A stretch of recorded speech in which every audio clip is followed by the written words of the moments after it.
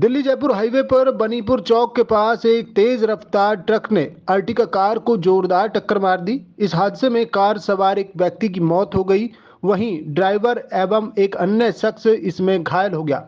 तीनों बावल औद्योगिक क्षेत्र में एक कंपनी में ड्यूटी पर जा रहे थे। जैसे ही हादसे की जानकारी कंपनी कर्मचारियों तक पहुँची तो वो मृतक परिवार को मुआवजा और पत्नी को नौकरी दिलाने की मांग को लेकर कंपनी कर्मचारियों ने हड़ताल शुरू कर दी। इतना ही नहीं कंपनी कर्मचारी कंपनी के गेट पर बैठ गए। राजस्थान के शाहजहापुर के गाँव सख्तपुरा निवासी राकेश पिछले काफ़ी समय से बावल की N S K steering system private limited company में कार्यरत था। गुरुवार को राकेश अपने घर से कंपनी की अर्टिका कार में सवार होकर ड्यूटी के लिए चला था। कार में राकेश के अलावा ड्राइवर एवं एक अन्य कर्मचारी था। जैसे ही बनीपुर चौक के पास पहुँचे तो पीछे से आ रहे एक तेज रफ्तार ट्रक ने उनकी कार को टक्कर मार दी। हादसे में तीनों गंभीर रूप से घायल हो गए।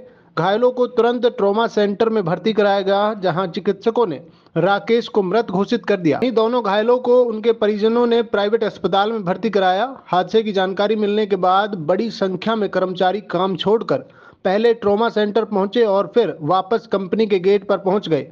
कर्मचारियों ने मांग की है कि राकेश की पत्नी को नौकरी और परिवार को उचित मुआवजा दिया जाए। इसके साथ ही धरना शुरू कर दिया गया।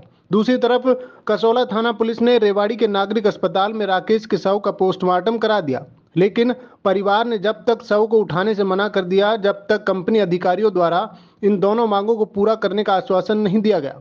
परिवार के मुताबिक, राकेश के एक छोटी बेटी है, एक बेटा है।